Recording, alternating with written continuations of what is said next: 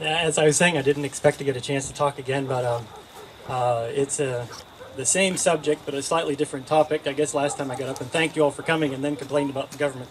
Um, I want to thank you again. Um, and I want to talk about the pond back there. Um, when we first got here, there was a there's a ditch that runs up there, an irrigation ditch, um, and there was a leak in the ditch because the ground is fairly porous, and the ditch is on about three months out of the year. And while the ditch was on, um, there was a wet spot down there. Um, it was from the leak. And uh, we thought, well, let's take that wet spot and turn it into a pond. Um, well, it turned out that the wet spot was a wetlands. Never mind that it was caused by a leak from a ditch that was man-made that was only turned on three months out of the year. And when we put a pond in, we destroyed the wetland. Now, I know we made the wetland wetter, but nevertheless, we destroyed the wetland. And, and uh, I believe it was the Corps of Engineer needed to get involved, um, partly because we're dealing with a navigable water system, which is the Papasha River back here.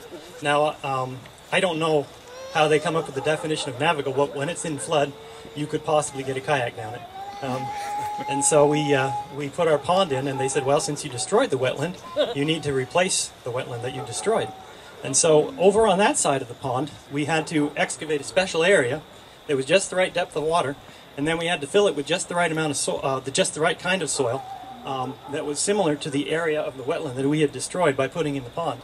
And um, I guess you guys know probably that now in Congress they're um, considering changing the regulatory powers of Washington from navigable water, and they're just going to take the navigable out, and it's just going to be water. Um, I don't have an answer as far as how we're going to get back to liberty, but the situation where you can't put a pond in without making a swamp that was caused by a leak in a ditch is um, now that's just an example, but there are a lot. You know, we uh, we homeschool, we did home birth.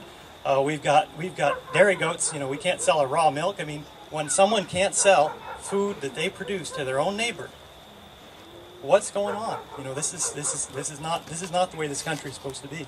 And I'm just hoping that we can get it back on track. And for me, back on track means being able to sell food to your neighbors with no interference, being able to go get a job wherever you want to. Just hey, I'd like to work for you you know, you can pay me what you want and I'll work however it works. So I think we've got a long road to hoe, but uh, but uh, that's that's where my mind is, and I'm really excited to see this many people coming together. And I think that uh, we're not identical, but we've got we've got similar goals. Thank you.